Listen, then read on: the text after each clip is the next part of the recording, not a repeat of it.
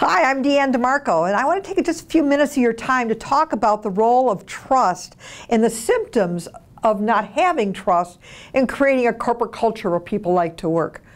Are you having problems with uh, not having constructive feedback from peer to peer? Are you having problems with peers holding grudges against one another? What about gossip?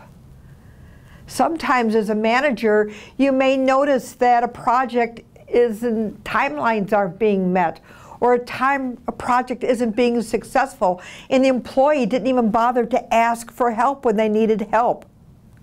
These are all symptoms of low trust in your organization.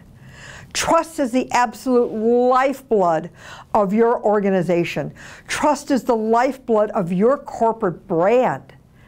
Without trust, you're going to have employees leave. You may see a little sign that says, I quit.